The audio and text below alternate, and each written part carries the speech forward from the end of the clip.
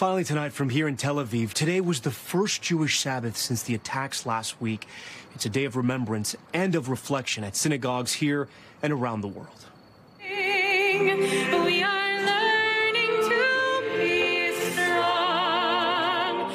Tonight, Jews across Israel and around the world are finding solace in the Sabbath.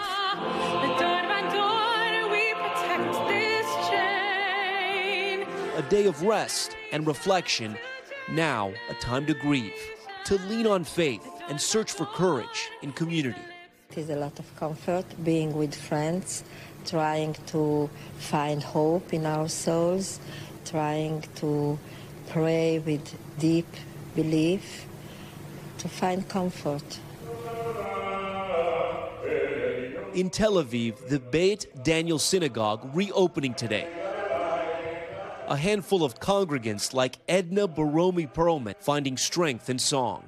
I feel that we're sort of like embracing each other with the liturgy and the music, and it's like therapeutic for me, totally therapeutic. Her rabbi, Meir Azari's mission is to give support during these unimaginable times.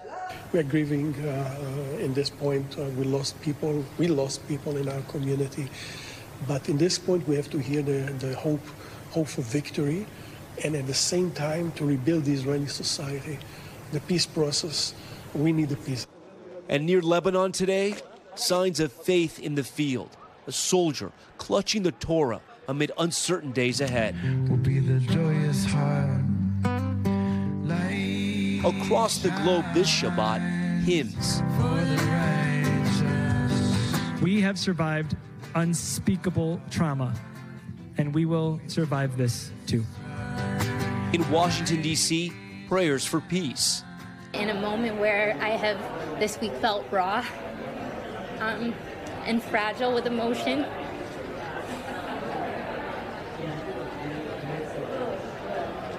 this is who I wanted to be surrounded by and who I felt could give me strength and the hugs that I needed.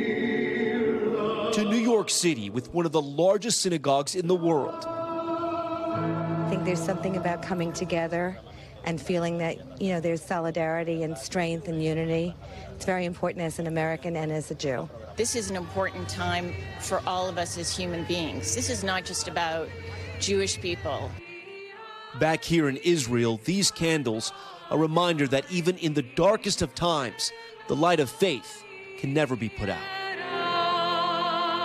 Thanks for watching. Stay updated about breaking news and top stories on the NBC News app or follow us on social media.